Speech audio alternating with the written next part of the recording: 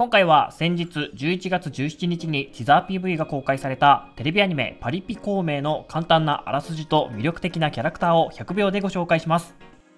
本作は漫画アプリコミック配信サイトコミックデイズさんで連載中2011年11月からはヤングマガジンさんで連載されている今最も熱い漫画を原作としたアニメで三国志に登場する天才軍師として有名な諸葛孔明がなんと1800年後の現代渋谷に転生することから物語が始まります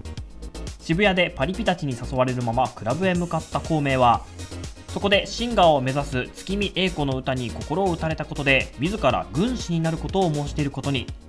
三国時代を生きた孔明は転生した渋谷で何のために生きるのか。2人の音楽と物語に期待です。主人公諸葛孔明キャラクターボイスは沖合良太郎さん。三国時代から現代の日本渋谷に転生した三国志を代表する天才軍師。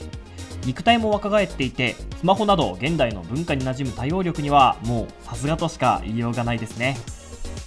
本作のヒロイン月見英子。キャラクターボイスは本土楓さん。駆け出しのシンガーとして歌っていたクラブで孔明と出会いとあるきっかけで孔明のプロデュースを受けることになります。またティザー PV では出ていませんが本作を語る上で外せないのがクラブのオーナー。ネタバレになってしまうのであえて言いませんが孔明の良き理解者であり見た目とは裏腹にギャップのあるとってもいいキャラです。